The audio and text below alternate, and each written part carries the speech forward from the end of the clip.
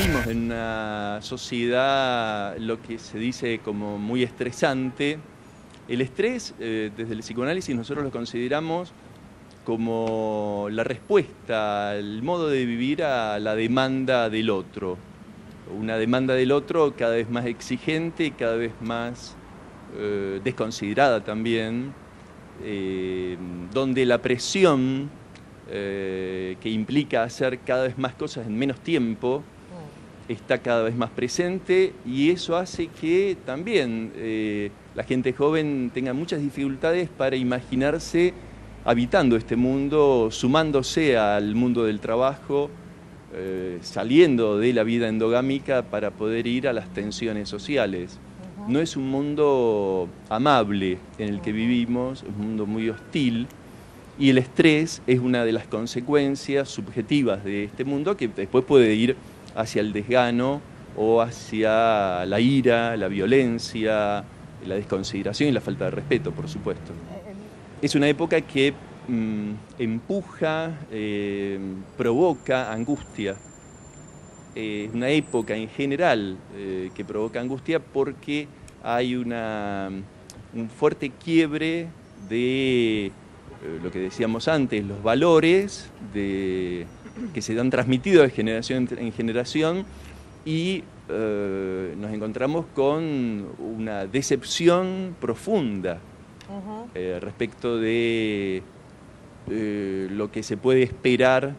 de otros, de los proyectos, de las promesas. Acá hay una, una, una, cuestión, un hecho que es muy notable, cómo eh, en campaña cierto, los partidos políticos eh, prometen y la gente, la población cree, quiere creer en esas promesas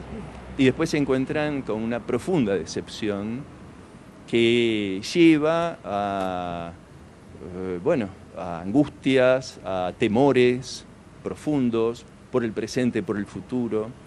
Y esto afecta sin ninguna duda la salud mental. Sin ninguna duda, esto, esa precaria salud mental que tiene el ser humano siempre, está conmovida, está conmocionada por factores que la sociedad que está construida, estuvo construida en tiempo inicial como protección frente a los problemas de la vida, así fue los inicios de la cultura, el agruparse para poder protegerse en común de los problemas que la naturaleza ofrecía,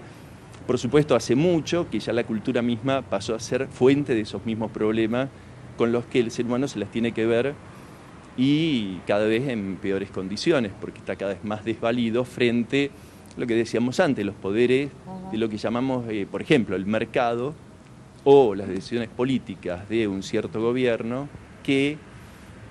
parece no proteger demasiado, no cuidar demasiado, sea de un signo del otro, esta salud precaria, esta salud mental que la población necesita mantener aunque sea precariamente, y está muy afectada hoy en día por la angustia, la decepción, la frustración,